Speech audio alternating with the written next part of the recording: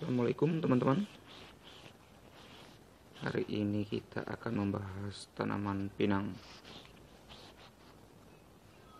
Pinang adalah tanaman sejenis palem yang tumbuh di daerah Pasifik, Asia dan Afrika bagian timur. Dalam bahasa Inggris dikenal dengan nama battle palm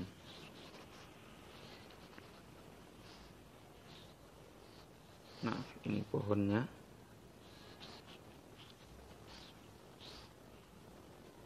Masyarakat Indonesia umumnya menjadikan buah pinang muda untuk meningkatkan gairah para pria. Namun sebenarnya masih banyak manfaat yang bisa diambil dari tanaman ini untuk dijadikan obat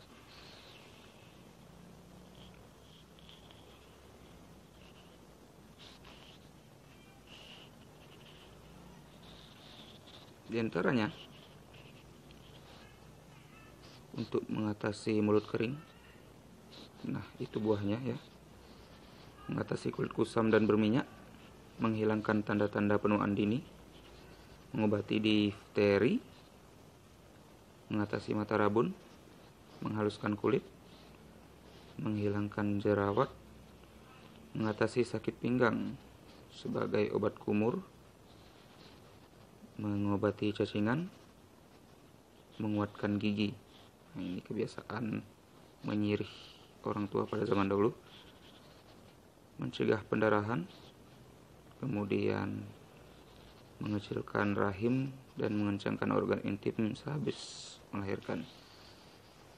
Ternyata juga bermanfaat ya untuk para perempuan.